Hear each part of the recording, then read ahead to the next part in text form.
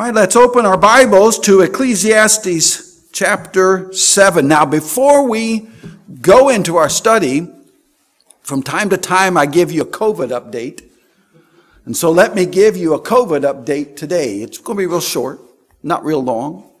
But in Hebrews chapter 10, 25, the Bible says, not forsaking the assembling of ourselves together as the manner of some, but exhorting one another so much more as you see that day approaching. I, I would love to go into that because it is an it is a very very interesting text, but we're only going to go for a very short thing. The Bible says not forsaking.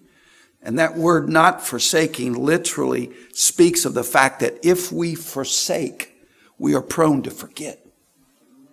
If we forsake, we are prone to forget. Why do we come to God's house? Why do we come together? Well, you can watch us on YouTube, or you can watch us on Facebook, or you can watch somebody that's far better than me. So why? Why come here? Well, there's three basic reasons, and let me go through this very quickly. Number one, for the exercise of the gifts of the Spirit. Every one of you here today, every one of you here this morning, have a gift that God has given you. And you're here for a purpose. That gift is to work for the encouragement of the saints.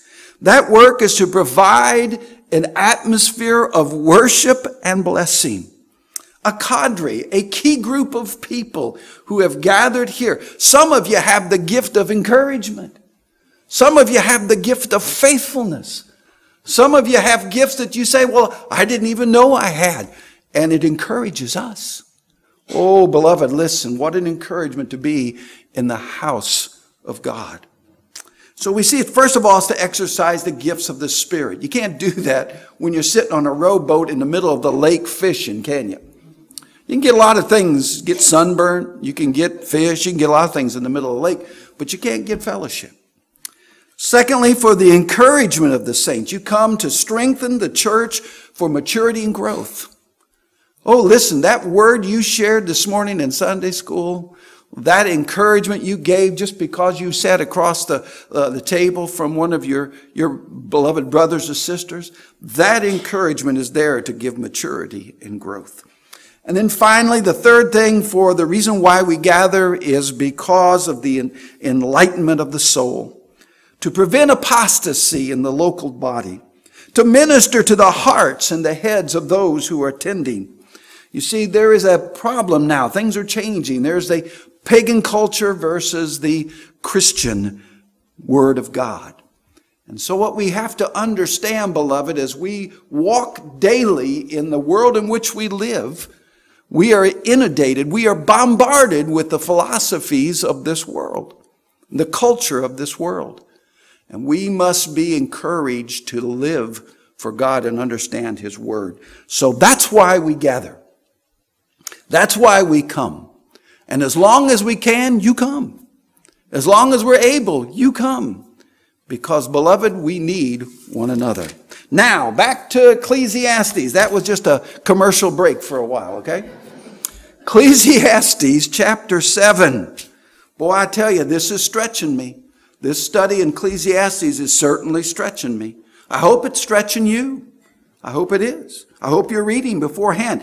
Ecclesiastes 7 and verse 19. I'm going to read it out of the NIV for you. The Bible says wisdom makes one man wise, one wise man more powerful than 10 rulers in the city. One wise man more powerful than 10 rulers in the city. Obviously, God wants us to be wise. Obviously, God wants us to have wisdom in the matters of our life and daily life as we walk in this world. We need to display the wisdom of God. Be very careful today because there are attributes of people who will throw wisdom out the window and accept the things of this world and become like the things of this world. Folks, we need godly wisdom today more than ever. Beloved, purpose in your heart today, purpose in your life today that you're going to follow godly wisdom. Turn a little bit to the left of Proverbs chapter 2. Proverbs chapter 2. God's wisdom guards our paths and preserves our ways. Proverbs chapter 2 and verse 6, the Bible says, For the Lord gives wisdom. For the Lord gives wisdom. From his mouth come knowledge and understanding. He stores up sound wisdom for the upright. He is a shield to those who walk uprightly. He guards the path of justice and preserves the way of his saints. Oh, beloved, we need godly wisdom today. The Bible teaches us we need to walk in that wisdom. And how do we do that? Where do we find godly wisdom? This is the whole search of Solomon. This whole text that we have today is Solomon searching for godly wisdom. The only problem is he's searching in all the wrong places. He knows better. When he was a young man writing the book of Proverbs, God instilled with him wisdom that was unbelievable. When he wrote the Song of Songs, he spoke of his love for his wife, but also speaking to us a prophetic teaching of God's love for the church. But oh, beloved, today, as he is getting older, as he's getting closer to his demise, to his death, for some reason, Solomon is forgetting the godly wisdom that he had when he wrote Proverbs. For some reason, as he grew old, he has forgotten the direction of God in his life. We must be very careful, beloved. My pastor used to say it this way he said it's not as important, much as important as how we begin, but how we end. And oh, beloved, it was uh, Harry Ironside who said this, prayed this every day Lord, help me not to be a crazy old man. oh, beloved, the older we get, the foolisher we get. We must be careful. Solomon here is searching for what he has lost, and that is the wisdom of God. Why? Because he's searching in all the wrong places. We see in verses 20 through 26 the elusiveness of true wisdom. In verse 20 and 22, we see a failed source of godly wisdom. Solomon again is searching. Look at verse 20 through 22. For there is not a just man on the earth who does good and does not sin, and also not take to heart everything people say. Boy, that's good advice. Lest you hear your servant cursing you. For many times also your own heart has known that even you have cursed others. Oh, listen to the words of God's wisdom. We see in verse 20 a warning of fallen sinners. You see, godly wisdom cannot be found in any source but God's Word. That's the only place, folks. That's why the devil doesn't want you to read the Word of God tomorrow. That's why tomorrow everything is going to turn loose. Every phone call is going to come. Everything, every child, everything has got a problem. Everything's going to happen so that you don't read His Word. But beloved, you need to read God's Word. Godly wisdom cannot be found in any source but God's word. Psalm 119, 105 says, Your word is a lamp to my feet and a light to my path. I learned that years ago in vacation Bible school as a child. Oh, folks, this is very true. That God's word will direct your path. It'll give you strength. It'll give you wisdom. God's word is the true source of wisdom to guide the believer in life. Oh, it's simple, is it not? That's a simple concept. That's something you learned in Sunday school when you were a little child. But oh, beloved, Solomon had learned that from his father David. Solomon had learned that from his mother's lap. But he'd forgotten. And that's the tragedy of life, beloved, is when we forget the wisdom of God. Proverbs 2 6 says, For the Lord gives wisdom, from his mouth comes knowledge and understanding. Oh, beloved, it's not in the, in the history books of this world that we find wisdom. It's not in the annals of history or in the, of, of the great documents made and kept in great museums, but rather it's in that simple book that you have in your lap. That book that has been given to us by God through his prophets, through his teachers, through his apostles, All of that so that you and I would have God's wisdom. Oh, it's been banned, it's been burned, it's been banished, but it's still here. The truth of God's word, all have sinned, we see in verse 20. The Bible says, For there's not a just man on earth who does good and does not sin. Oh, isn't that true, isn't it? How come we're so surprised when we hear about people who are in a positions falling into sin? Why are we surprised? Why are we shocked? Beloved, we live in a world like this. We live in a world of sin. The truth of God's word, Romans 3 9 says, What then? Are you better than they? Not at all, for we have previously charged both Jews and Greeks that are all are under sin. There's not a person in this world, not in this room, including me, that are not under the curse of sin. Solomon says, I'm looking for wisdom, but there's not a just man to give me this wisdom. We see the tragedy of a godless world in verse 20. Who does good and does not sin. In Romans 6 23, the Bible says, For the wages of sin is death, but the gift of God is eternal life through Jesus Christ our Lord. Oh, beloved, think about this. We live in a world of sin. Where are we going to find the wisdom to live life for God? Where are we going to find the wisdom, the direction, the mile markers, so to speak. The prodigal son thought he had the way. The prodigal son thought he knew the way. His wisdom was far greater than his father's. His wisdom was far greater than his family's. And he sought and took off down the road to find purpose, to find meaning. Oh, we used to have those people all the time when I grew up in the 60s. I'm going to California and finding myself. I went to California. I was found myself before I got there. I was already me before I got to California. And I was me when I got back too. Beloved, let me say this to you. You don't have to go to some far flung place to find yourself. You can find it right there in the Word of God and be encouraged and strengthened. We see the fallacy of worldly hearsay in verse 21. Also, do not take to heart everything people say, lest you hear your servant cursing you. Listen, folks, you don't want to hear everything that's spoken about you. You don't. Years ago, I won't tell you which child, but years ago, after we went into a little discipline time and the child went into their room, closed the door, I decided, well, I'm going to listen. Wrong move. you don't want to do this. I will never forget. I hate him. Lord, that killed me. I mean, take a knife and just rip my heart out. And I thought to myself, I will never go to that door again and listen. Folks, you don't want to know what everybody thinks about you. First of all, they may all be wrong. Most all of them are, aren't they? but the whole bottom line is simple, folks. You don't go to them, you go to God. He knows your heart. He knows your strengths. He knows your weaknesses.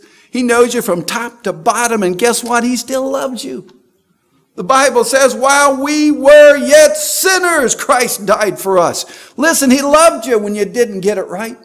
He loved you when you didn't have it all together. And He said, I'm going to die for you. He didn't wait till we got it so we got good, but He loved us. What does that do? That frees me up, folks. I don't have that performance trap anymore. I don't have to do anything to make God love me more. You see, there's nothing I can do to make God love me more. There's not enough Bible that I can read, and you should read your Bible. There's not enough church services I can go to to make him love me more, but you ought to go to church services. But you see, the opposite is true. There's nothing I can do to make him love me less. You see, he loved me while I was a sinner. He loved me while I was yet a sinner. Why should I go to other people who don't know me like God knows me? Why should I care what other people think who don't know me? God knows me, loves me, cares for me, gives me eternal life. Oh, beloved, think about it. We see the fallacy of worldly hearsay. Proverbs 25, 11, a, word, a word fitly or aptly spoken is like apples of gold in settings of silver. Oh, it's precious.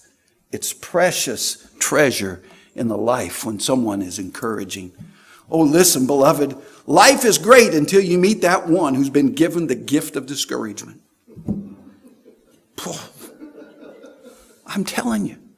Solomon is saying, Give me someone who can encourage me.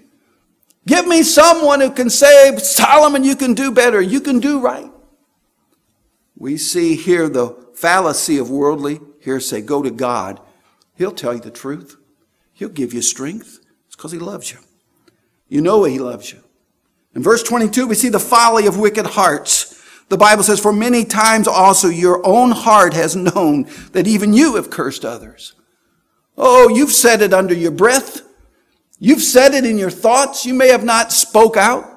You may have not said it, but oh, beloved, in your heart of hearts, you did.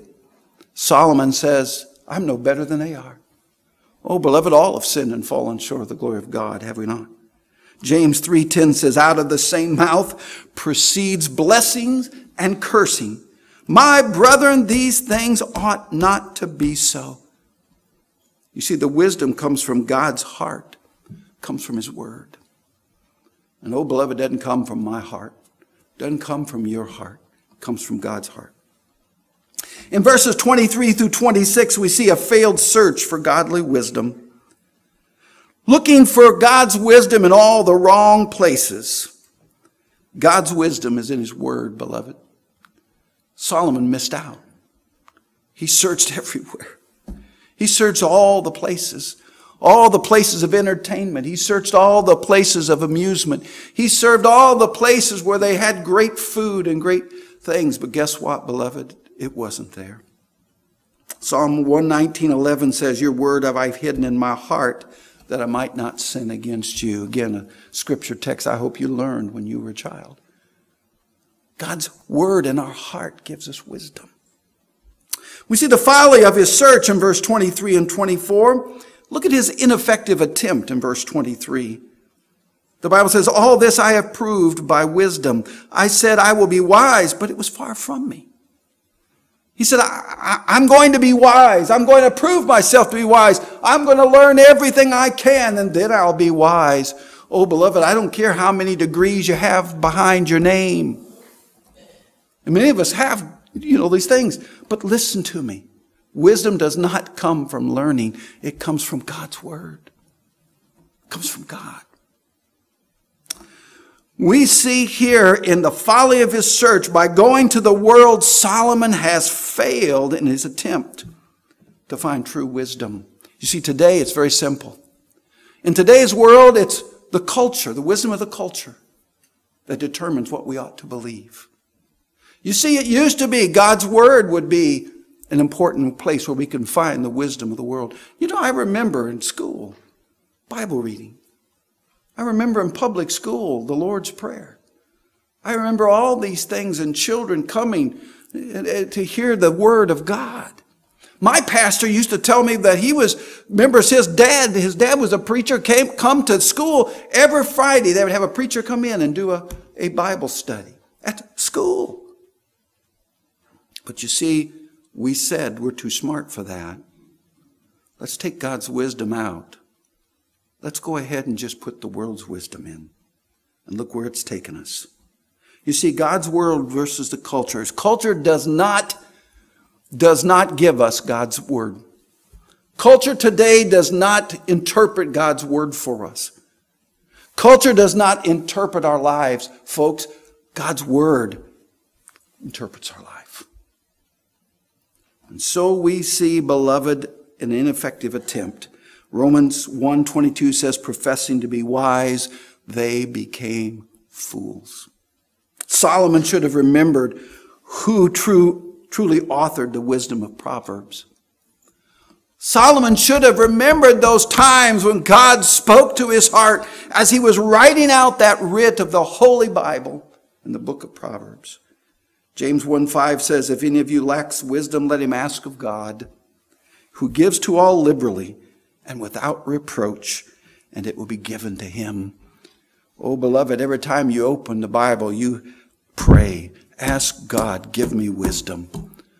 Every time you read the Word of God, ask God, speak to my heart with this matter. Give me wisdom and what I need. And I promise you, you will not be disappointed. God's Word is so important for our life. We see his inadequate achievement in verse 24. The Bible says, As for that which is far off and exceedingly deep, who can find it out? Who can know the trueness of the wisdom of God? Who can understand? You see, worldly wisdom has its limitations. Truly, God, truly, God's wisdom was far beyond Solomon's grasp at this point of his life.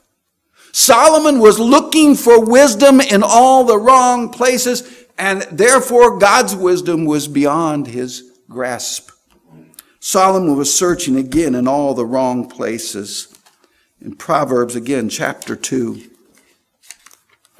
Proverbs chapter 2, starting with verse 3. Yes, if you cry out for discernment and lift up your voice for understanding, if you seek her as silver and search for her as for hidden treasures, then you'll understand the fear of the Lord and find the knowledge of God. For the Lord gives wisdom, from his mouth come knowledge and understanding. Where do you get that, folks? You get it from the Word. That's one of the greatest books we have in this world. That Bible that you have is the greatest wisdom of all mankind. And many people their search is folly for wisdom. Verse 25 and 26, we see the failure of its search. Solomon resolves to find enlightenment in verse 25. I applied my heart to know, to search and seek out wisdom and the reasons of things, to know the wickedness of folly, even of the foolishness and madness. Solomon, in his quest for wisdom, sought to understand the foolishness of insanity and the folly of wickedness. Kind of sounds like today, doesn't it? But you see, this is vanity. Even Solomon said that. This search is vanity. It is like grasping for the wind. Ecclesiastes, the first chapter. Many weeks ago, we studied this, this these verses. In verse 16, chapter 1, verse 16, I, I communed with my heart, saying, Look, I have attained greatness, and I've gained more wisdom than all who are before me in Jerusalem. My heart has understood great wisdom and knowledge, and I set my heart to know wisdom and to know madness and folly. I perceive that this also is grasping for the wind.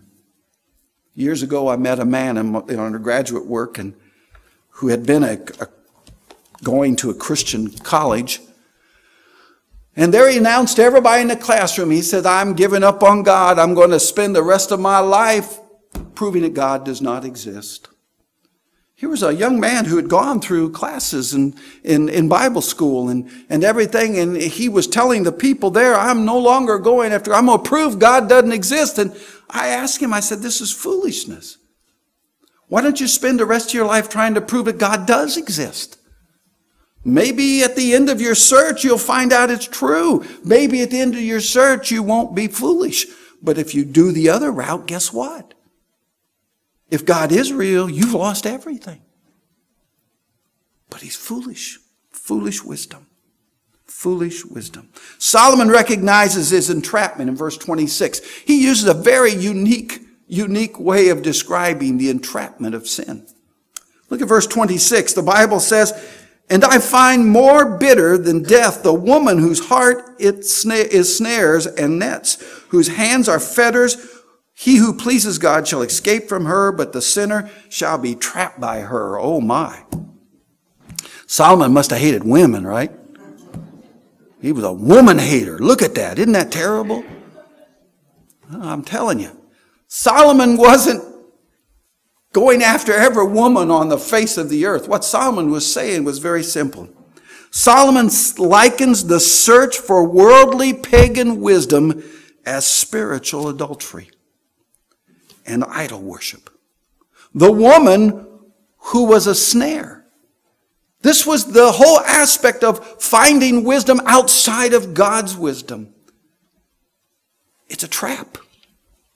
It takes you down a road further than you want to go. It leaves you empty more than you want to give. And oh, beloved, by the time you're done with that worldly wisdom search, guess what? You wake up and you say, I've wasted my life. That's what Solomon is saying. He said, I've given in to the religion of my wives. Oh, they've taken me to the, to the temples of evil.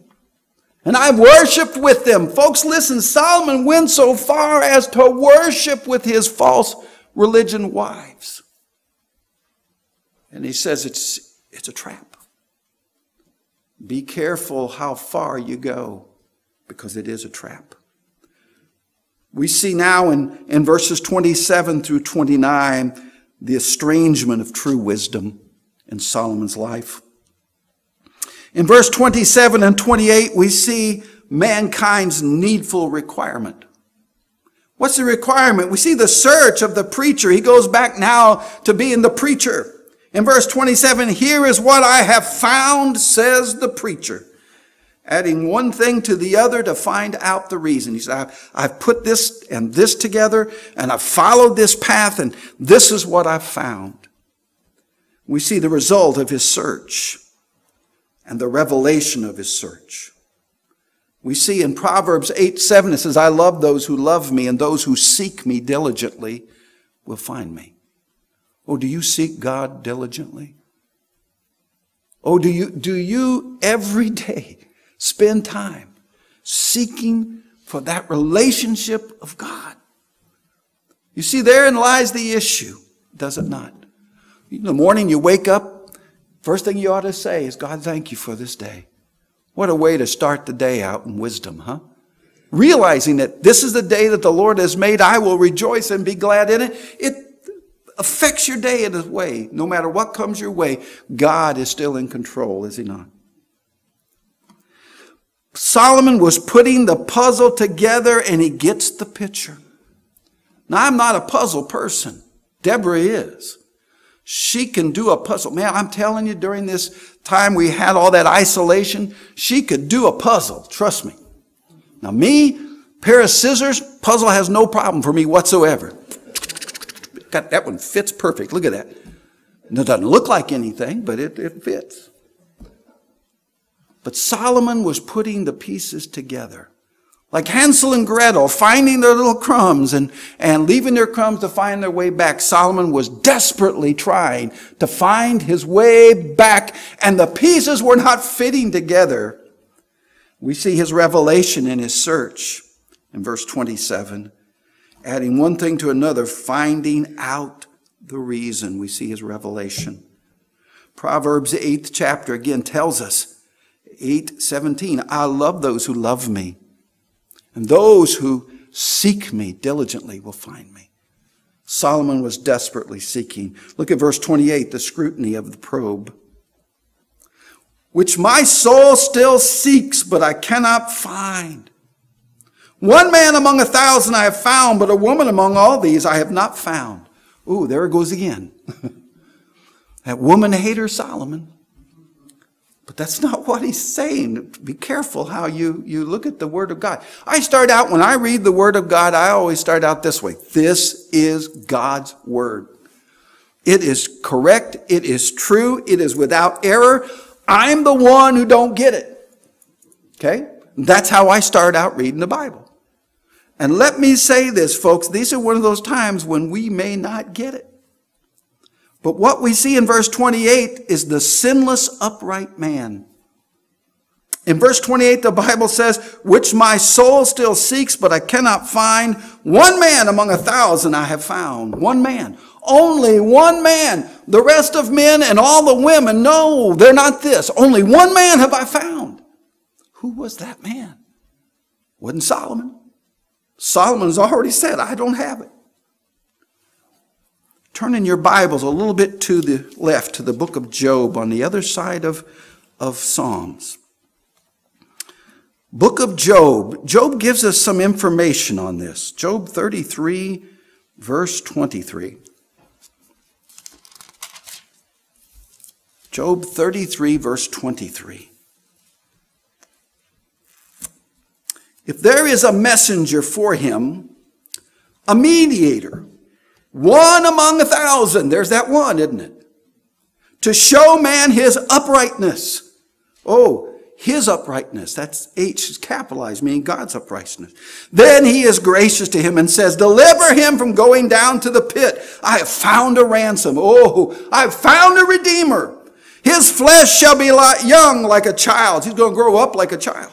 He shall return to the days of his youth. He'll be a young man. He shall pray to God and he'll delight in him. You shall see his face with joy, for he restores to man his righteousness. Oh, he's speaking of Jesus. When Solomon says, I only know one person that's going to be the Messiah. Only one about all of them is going to be righteous, and that's one. No man, no woman is going to be perfect. No man, no woman are going to be righteous. We see the sinful unrighteousness of mankind in verse 28. I found none. Oh, Solomon searched diligently, person to person, family member to family member, friend to friend, acquaintance to acquaintance, stranger from stranger. He, he had all the people of the world coming to him, and he said, I've not found one, not one, who's righteous. But there is one who's coming. Romans 3.10 says, as it is written, there, that is, is written, there is none righteous, no, not one. Oh, Solomon knew that. He saw it. There are none righteous. Look at verse 29. Truly, this only I have found that God made man upright, but they have sought out many schemes. We see mankind's needful redemption in verse 29. Mankind's significant creation was simple. God made man upright. He made Adam and Eve in perfection. Adam was made in God's image. He was made without sin and without defect. This is not, our world is not how God meant for it to be. Your life was not meant to be the way God designed it for. You and I were to live in perfection, in holy perfection, with a relationship with God, and live forever in that relationship. One day we're going to have that. Adam was created in perfection, Genesis 1:27. So God created man in his own image. In the image of God, he created him, male and female, he created them. Now, God created both Adam and Eve in his image. If that is true, how can you have two different type of people, completely different in the same image? Is God a woman or is God a man? You got two things here. God is the Father. I understand that's male, is it not? But we see here that he made them both in his image. What is he speaking about? He's speaking of very interesting thing. Though there were two distinctly different beings, he made them in the image of the triune being of the Godhead. He created Adam and Eve with a body, with a soul, and with a spirit in the image of God so that when God came into the garden, he could speak with Adam and Eve. He could deal with Adam and Eve. He could have a relationship with Adam and Eve. But when sin came in, you remember the story, Adam was hiding. God came in. He said, I heard you coming. I heard your voice. I heard you coming. And I hid myself. First time we hear this word. First time in the Bible. And what did God say? Why did you hide yourself? Because I was afraid. I was naked. And God said to him, Who told you you were naked? Have you ate the fruit I told you not to eat? God knew. Waiting for the confession. 1 John 1 9, if you'll confess your sins, he's faithful and just to forgive you of your sins and to cleanse you from all unrighteousness. But how did Adam react? It's that woman you gave me. She gave it to me and I ate it. Woman, it's that serpent you made. That serpent gave it to me. Oh, beloved, think about that. That's sin. Sin pointing to different direction, pointing a different way. Folks, we are sinners, born into sin. I'm born like my father and my mother. They gave it to me. Not only did I get all their DNA, but I got all their sin too. So did you. Created with purpose created in perfection. Adam and Eve were created as perfect beings in a perfect world to live and work in God's perfect creation as its caretakers. But sin changed all that. Sin changed all that. Every weed, every thorn, every problem, everything we go through in life is because of sin. Solomon is seeing this in verse 29 that God made man upright, but they've sought out many schemes. They, they've tried to get around all the stuff of God. Man's sinful cunning. In verse 29, the Bible says, but they have sought out many schemes, the fall of mankind. Romans 7:12 says, therefore, just as one man just as through one man sin entered the world and death through sin and thus death spread to all men because all sinned. Solomon is thinking there's wisdom here. I'm getting ready to die. I'm getting old. He's in his late 70s. His father lived to be 70 when he died. Solomon's thinking, I'm almost 80. You know, I'm going to be coming around the corner anytime now. And death is coming. How in the world can I get around this? Do you realize there are people today all over the world seeking to stop this thing called death? To, to Perhaps, I've, have you been reading about people who are talking about the AI phenomenon where you can download who you are into a computer? And you get to be a robot for the rest of your life. That's eternal life for the world. Oh, I'm telling you, folks, you get to be one of those danger, danger, Will Robinson. Not me, folks. Be absent from the body is present with the Lord. I'm going home. How about you? But I'm telling you, folks, this world will seek out everything. Solomon was thinking, I'm getting ready to die here. We all got that in the back of our mind, don't we? We all got that in the back of our brain, don't we? We wake up one morning, we say, Thank you, Lord, for this day. We go to bed, and I say, Lord, give me another day. If not, I'll be with you. We see the fallibility of men. In Psalm chapter 14, Psalm chapter 14, starting with verse 1. Bible says very, very importantly, the fool has said in his heart, there is no God.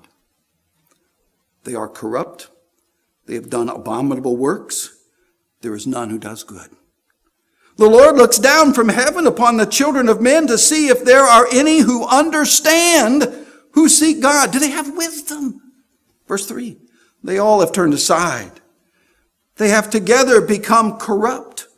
There is none who does good, no, not one. The psalmist David here says, Solomon, you're a sinner. Solomon, you're going to die as I died. That's the wisdom of the world. But what's the wisdom of God? Oh, as Paul said it this way to be absent from the body is to be present with the Lord. Oh, beloved, that's the hope we have in Jesus. That's the hope we have. Paul says to the church of uh, Thessalonica, do not, do not grieve as those who have no hope. Oh, beloved, we have hope. That's the wisdom of God. God, man's wisdom tells us there's a problem. There's sin and death. Death's coming. There's a problem. God's wisdom tells us there's a problem. There's sin and there's death. There's a problem. But only God's word, his wisdom, gives us the true solution. That solution is the atoning sacrifice of God's Son, Jesus, as his gift of salvation, eternal life. Romans 6:23 out of the Amplified Bible has a unique way of saying it. For the wages of sin is death, but the free gift of God, that is his remarkable, overwhelming gift of grace to believers, is eternal life in Christ Jesus our Lord. That's wisdom. That's the wisdom we need today, beloved. That's the wisdom, not, you know, I don't mean to be ugly, but they can go to the moon, they can go to Mars, they can do all what they want. And isn't that fascinating? But oh, beloved, you can have all of that and still miss eternal life. Oh, seek for the wisdom of God today. Seek to share the wisdom of God with others. Folks, it is life that God has given us, eternal life. Let us pray. Our Father God, we thank you for your word.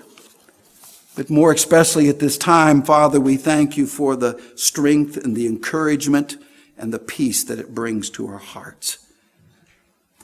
Well, Father God, as we go through life, walking down the paths of life, give us wisdom, Father, to search your word, to seek that light which you have given us, that we might light our path, to walk that way, to find hope, to find strength, to find encouragement. Oh Lord, keep our hearts mindful of your wisdom. Keep our hearts mindful, Father, of your love and your grace through Jesus. And oh, Father God, if there be someone today does not know Jesus as their Lord and Savior, watching on Facebook or, or even on, on YouTube, Father God, help them to understand that that drawing of the Holy Spirit is real and He's drawing them right now to Jesus. Let them understand, Father, that we're all born sinners. Help them to understand we're all in that same boat and the boat is sinking. Few of us have life preservers, Father. Oh, let them seek that life preserver of Jesus. Let them understand that Jesus loves them. He died for them as the Son of God. He came to die for their sins, and He rose from the dead to give them life everlasting. Help them to understand and to receive that gift of salvation. Help them to pray something like this in their heart and mean it with all their life. Dear Jesus, I know I'm a sinner. I confess my sins and I ask God's forgiveness of my sins. I repent of them.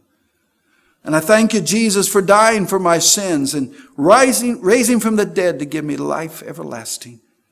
And now I open the door of my heart to you today, Jesus. Come into my life and, and save my soul. And Jesus, to the best of my ability, I will follow you and live the rest of my life for you. Thank you, Jesus.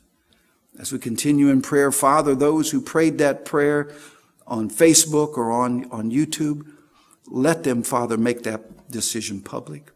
Help them to tell a family member or friend or even come into a church service and make that public through baptism. Whatever decision, Father God, give them the heart and the strength to do so. Be with us today, Father, in this time of decision that hearts would be changed and lives would be redirected and, and men and women would follow the wisdom of God. For it is in Jesus' name we pray. Amen. Hi, my name is John Blair, and I have the privilege of being the pastor here at Coventry Baptist Church in Fort Wayne, Indiana. I want to thank you for choosing to take part in our online services. I sincerely hope they were a blessing to you, and I want to invite you to continue to use them in the weeks yet ahead. In fact, take your time on our website, check it out, let us know what you think about it. Your opinion is very important to us, and we'd like to have some feedback. Let me take this time to also extend an invitation to you. If you don't already have a church home, let me invite you to come to our church and take part in one of our weekly services. Our morning worship service on Sunday is at 10 a.m. Our Sunday night service is at 6 p.m. And our Wednesday services and our midweek service is at 7 o'clock p.m. We're located at 10926 Aboite Center Road. We're right across the street from Homestead High School. Uh, just get on our website. We have a detailed map and some instructions on how to get here. Again, thank you for choosing our website and our services. I pray that the Lord will bless you and keep you. I hope to see you this Sunday.